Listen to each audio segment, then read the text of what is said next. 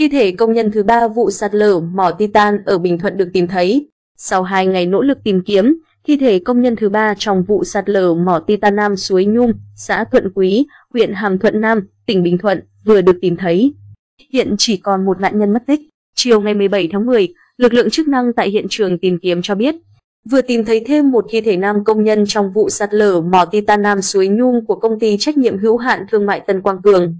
Nạn nhân thứ ba này là anh Huỳnh Tấn Phi Phi, sinh năm 1979, trú thành phố Phan Thiết, tỉnh Bình Thuận.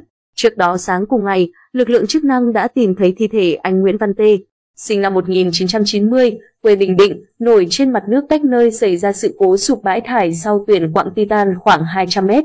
Như vậy, đến nay chỉ còn một công nhân hiện đang mất tích là anh Nguyễn Văn Nam, sinh năm 1991, trú tỉnh Bình Thuận. Công tác tìm kiếm vẫn đang tích cực triển khai.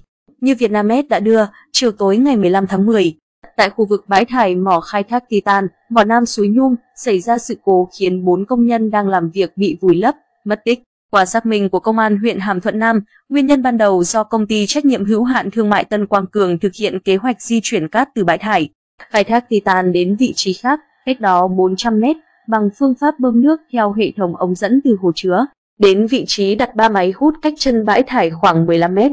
Khi năm công nhân đang thao tác làm việc thì xảy ra sạt lở từ độ cao 20 mét xuống, vùi lấp 4 công nhân.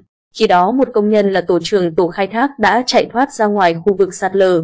Nhận được tin báo, Công an huyện Hàm Thuận Nam đã huy động 40 cán bộ chiến sĩ cùng nhân viên công ty trách nhiệm hữu hạn thương mại Tân Quang Cường tham gia tìm kiếm các công nhân bị nạn. Đến khuya cùng ngày, thi thể nam công nhân Bùi Quang Tia, sinh năm 1986, quê Phú Thọ, được tìm thấy cách vị trí đặt máy bơm về hướng Tây khoảng 30 mét ở độ sâu khoảng 1 mét. Sau đó đưa về trung tâm pháp y tỉnh để khám nghiệm.